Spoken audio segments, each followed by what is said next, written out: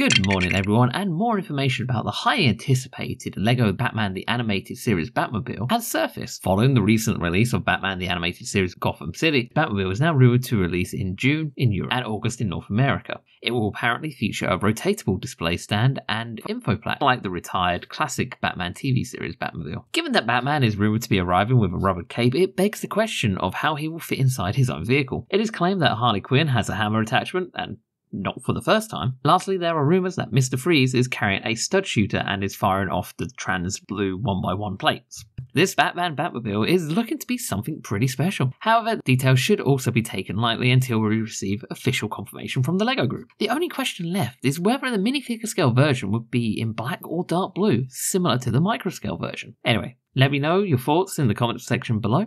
And as always, have a lovely day. Bye.